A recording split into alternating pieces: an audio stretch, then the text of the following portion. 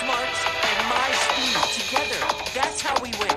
So we make our stand here on the field.